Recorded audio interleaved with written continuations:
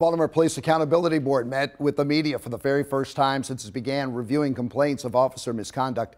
WMAR 2 News' Jeff Morgan has the details.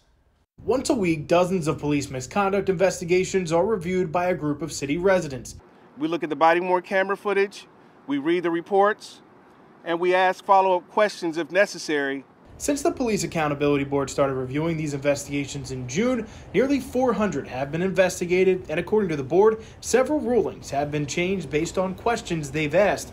For the most part, the department and the Accountability Board agree. There have been, to date, not, few, not many cases where there's been a, a large deviation between the disposition of the ACC, of the Administrative Charge Committee, and the police department thus far.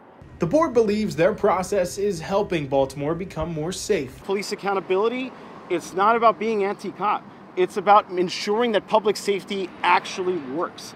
For that to happen, the community needs to trust its own institutions. The board is going beyond just reviewing and recommending discipline. It hopes to shape the laws and policies in the city through a report coming in January. Uh, in that report uh, will be outlined recommendations for potential legislative changes, uh, recommendations for the police department uh, based on investigations that are yielded, uh, as well as recommendations for improvement and trainings uh, moving forward to the Police Accountability Board. The board says each meeting they're reviewing about 20 cases. In Baltimore, Jeff Morgan, WMAR 2 News.